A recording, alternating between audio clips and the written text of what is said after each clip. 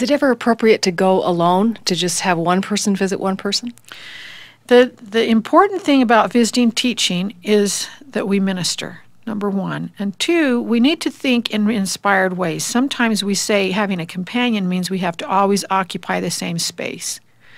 Having a companion is a safety, but a companion is also your helper in watching over somebody.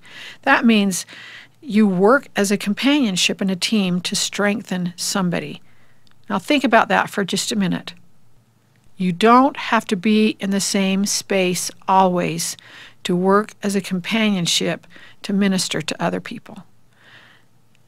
That is an important concept. That means if I'm inspired to do something and my companion isn't with me, that's okay. Mm-hmm. And if she's inspired to do something and I'm not with her, that's okay. And then if we coordinate and talk about that, that's okay.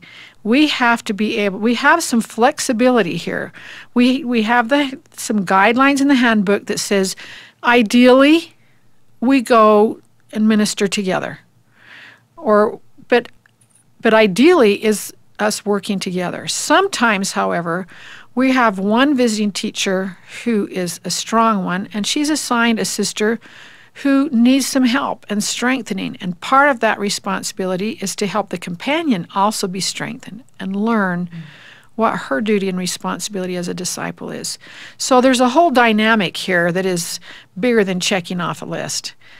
The answer is yes, you can go alone if that's the best way to minister.